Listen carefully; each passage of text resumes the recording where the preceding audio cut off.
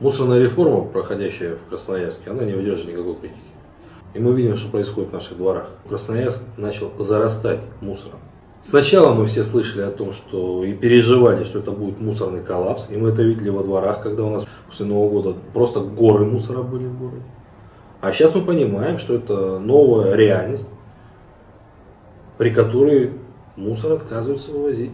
И причем отказываются, ссылаясь именно на то, что пока вы нам не заплатите еще больше денег, никто вывозить не будет. Была настроена работающая компания по вывозу мусора. А сейчас мы с вами видим, что начали выкручивать руки горожанам. И выкручивать достаточно дерзко, достаточно цинично и диктуя свои собственные условия.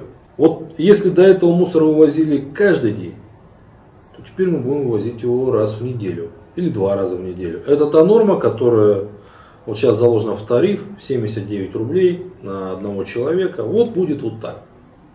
Хотя буквально еще три месяца назад Мусор вывозили каждый день. А хотите вывозить, а то, что у вас гора мусора скопилась, значит, вам надо вывозить чаще. Хотите чаще, это сверх нормы, и вы давайте, ребята, будете доплачивать. Ситуация парадоксальна. До Нового года все было отлично, и мы платили, и платили вовремя, и платили, то есть по одному тарифу. Сейчас тариф вырос, а услуги как таковой нет. Это первое. Второе, поступают сигналы от бизнеса. Ко мне на приеме обратился один из руководителей кафе и говорит, я за свое кафе платил за вывоз мусора всегда две с половиной тысячи рублей в месяц мне обходилось вывоз мусора. Сегодня получил новый расчет на руки, и эта цифра уже 15 тысяч. Но вот где две с половиной, а где 15? То есть опять-таки в 6 раз. В 6 раз. А людей и бизнес, ну, к этому не готовили. Мы слышали уверения наших местных властей о том, что, ну, будете чуть-чуть доплачивать, услуга будет гораздо лучше. А в итоге это получается вот две с половиной тысячи рублей и 15 тысяч рублей. Это что? Чуть-чуть? Но бизнес это тоже люди. Третий момент, но это вообще никакие рамки нет. Это вообще оплата за воздух. На примере могу привести коттеджный поселок в Свердловском районе. Граждане никогда не имели там мусорных баков. Никаких.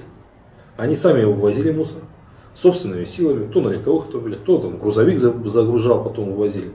А с Нового года они начали получать платежку за электричество, а внизу, будьте добры, еще 169 рублей за вывоз мусора.